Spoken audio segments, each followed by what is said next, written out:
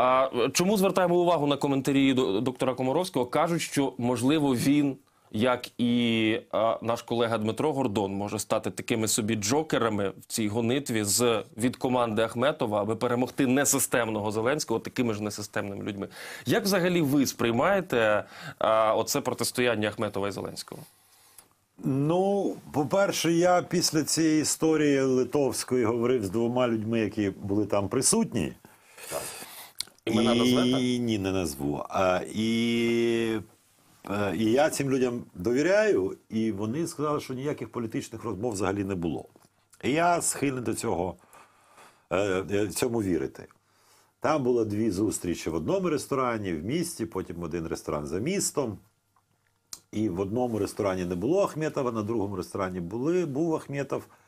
І ніхто ні про які ніякі тости, ніякі слова щодо політики не вимовляв. Ну, за винятком я ніхто свічку не тримав, хтось може вийшов покурити і там, ну як ти, а що ти збираєшся? Такі речі, які ну, зазвичай нормальні люди між собою обговорюють. Тому я думаю, що це фальшстарт, це бажане за дійсно в- в- видають деякі журналісти. Е, і так хизуючись своїми інформаційними можливостями, що вони ніби туди зазирнули. Я теж туди зазирнув, але побачив абсолютно протилежне тому, про що говорять українські журналісти. От. А протистояння, ну мені здається, це така слушна ідея пана Зеленського. Люди, але не зовсім українська. На відміну від росіян, які дійсно всі не люблять багатих, я не переконаний, що в Україні така від у, населення така відраза до, до багатих. В Росії саме відраза це єдине слово, яке тут до- до- дотичне до цієї. А в Україні мені не так не здається.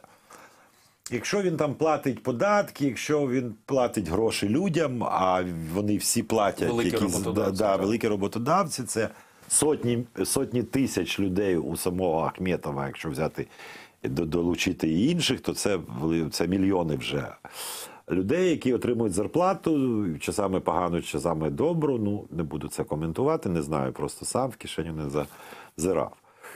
Але для того, щоб боротися з паном Ахметовим, знаєте, я собі тут написав такий, таке ім'я і, і прізвище Артур Скаргілл.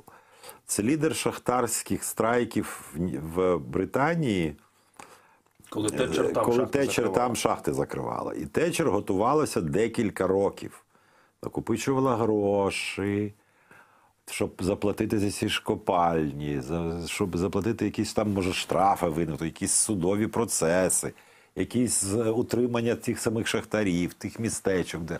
Тобто це така довга-довга робота і юридична, і психологічна, і може для когось психіатрична, і економічна, і фінансова, і поліцейська, бо треба поліціянтів навчити, щоб їх не бити, як в Росії, а просто там стримувати.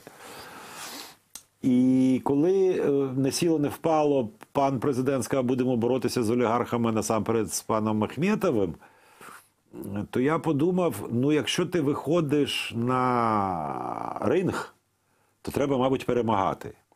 А щоб перемагати, треба довго тренуватись. А щоб довго тренуватися, треба головне слово довго. Тобто треба мати час на тренування, на розуміння, на дослідження, на наукове обгорнення цієї, цієї процедури. От як ти будеш боротися? З якими заводами? А що буде, якщо завтра Ахметов скаже, а я припиняю бізнес в Україні?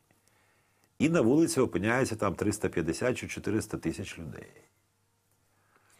А що буде, якщо залежні від олігархів банки почнуть припиняти роботу? Да? Та- Якщо ТЕЦ почнуть припини... Припинять да, е, виробляти роботу. електроенергію.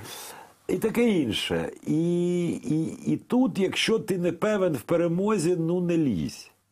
От я би так сказав: якщо дійсно це, умовно кажучи, в 2019 році прийшла нова команда, були дані доручення президента, от науковцям, от фінансистам, от економістам, от лікарям, от тим, от тим. Давайте якось посунемо олігархію. І зараз пройшло два роки, і вони вирішили його посунути. Одна справа. Може, вони і виграють. Зараз я думаю, що нічия це такий Позитивний успіх. буде результат Це для буде президента. успіх. Це буде великий успіх, нічия.